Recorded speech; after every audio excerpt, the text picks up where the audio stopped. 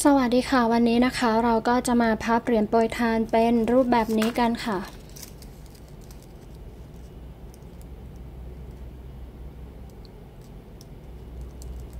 ก็มาเริ่มกันเลยนะคะ วันนี้เราจะใช้เป็นริบบิ้นกากเพชรใสเบอร์ 2 ความยาวเส้นละ 35เซนติเมตรค่ะ จากนั้นเราก็จะพับปลายด้านหนึ่งลงมาลักษณะนี้ จากปลายริบบิ้นจนถึงรอยพับตรงนี้ยาว 13 เซนติเมตร จากนั้นเราก็มาเริ่มขั้นตอนฐาน 4 กันเลยค่ะ จับริบบิ้นเส้นแรกมานะคะ โดยที่ให้เส้นสั้นมันอยู่ด้านบนสุดค่ะแบบนี้ จากนั้นเราก็เอาเส้นที่ 2 มาคล้องเส้นที่ 1 เส้นที่ 3 คล้องเส้นที่ 2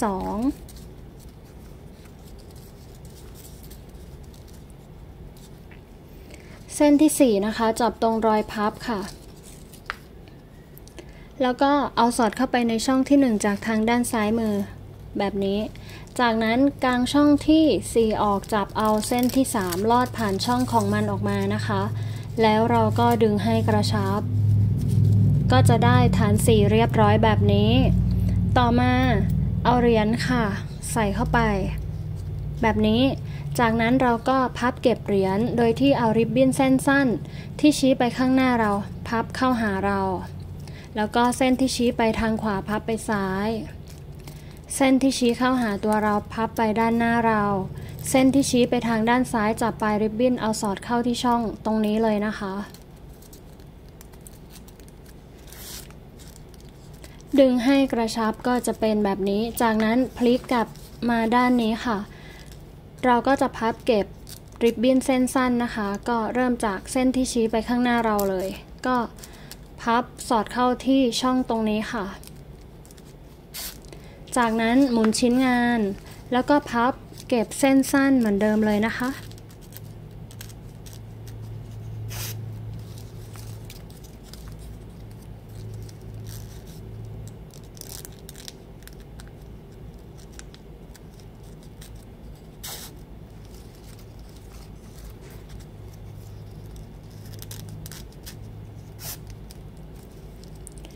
ก็เป็นอันเสร็จเรียบร้อยจากนั้น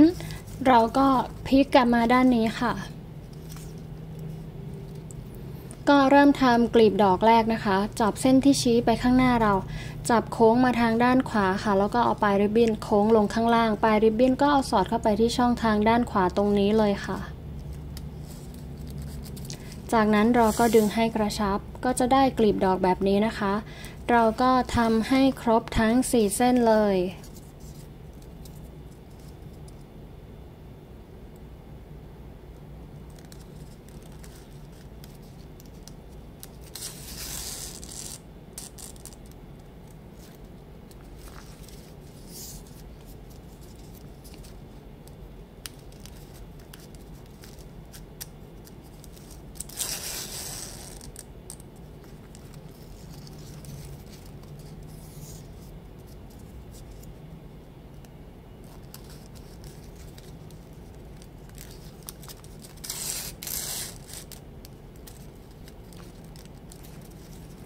ก็เรียบร้อยแล้วนะคะทั้ง 4 เส้นเลย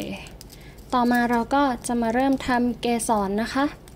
เริ่มจากเส้นที่ชี้ไปทางด้านซ้ายมือค่ะ เราก็จับมันมาทางด้านขวามือก่อนนะคะ จับมา จากนั้นก็ม้วนริบบิ้นค่ะ ไปทางด้านซ้ายมือนะคะ แบบนี้ แล้วก็โค้งวนกลับมาทางด้านขวานะคะ ให้มันเป็นแบบนี้นะคะ พอได้แบบนี้แล้วใช้นิ้วชี้กดไว้ค่ะ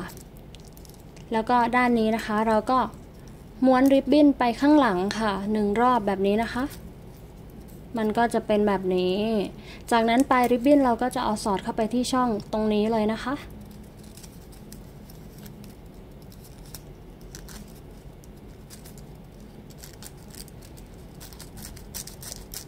ปลายริบบิ้นก็จะทะลุออกตรงนี้ เราก็ค่อยๆดึงให้กระชับค่ะ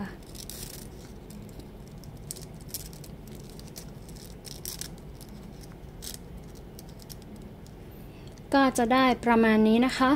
เราก็ทำให้ครบทุกเส้นค่ะ เราก็หมุนชิ้นงานให้ริบบิ้นมันเป็นลักษณะเดิมเหมือนเมื่อกี้นะคะ จากนั้นเราก็ม้วนริบบิ้นค่ะ ไปทางด้าน หน้าเรานะคะแบบนี้ แล้วก็โค้งมาทางด้านขวานะคะ เป็นแบบนี้นะคะ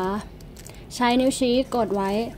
ส่วนด้านปลายริบบิ้นนะคะ ก็ม้วนริบบิ้นเข้าหาตัวของมันนะคะหนึ่งรอบแบบนี้ จากนั้นเอาปลายริบบิ้นสอดเข้าไปที่ใต้ช่องนี้เลยค่ะ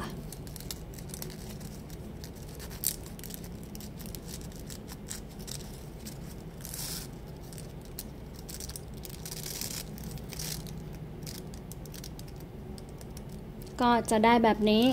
เราก็ทำอีก 2 เส้นนะคะ เหมือนเดิมเลยค่ะ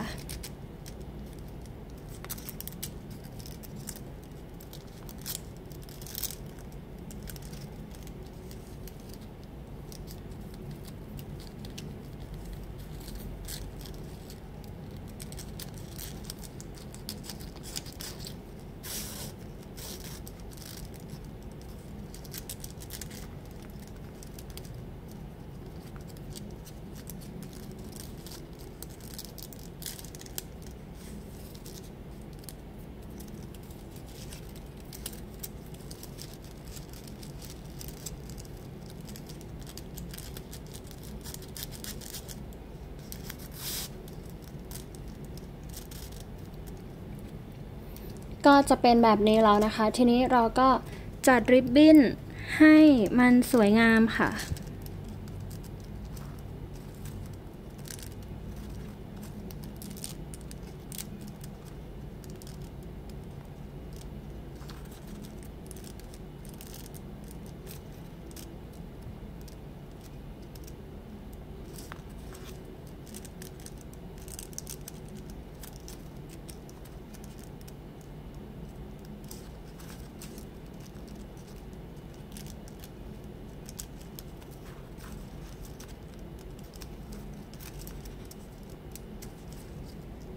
ก็น่าจะได้แล้วนะคะ ก็จะประมาณนี้ค่ะ จากนั้นพลิกกลับมาด้านหลัง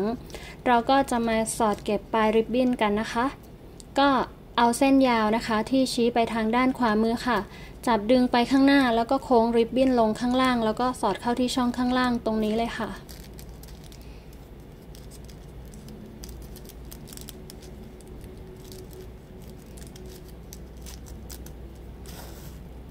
ดึงให้กระชับก็จะได้แบบนี้นะคะทำให้ครบทั้ง4เส้นเลยค่ะ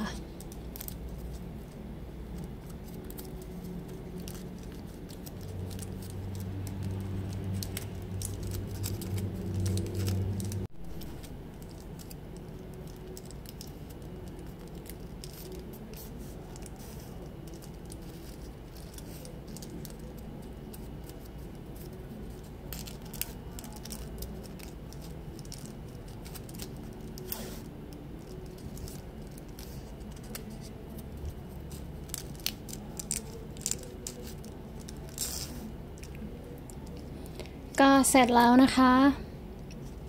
ต่อมาปลายริบบิ้นที่ยาวเกินมาเราก็จะตัดตกแต่งนะคะ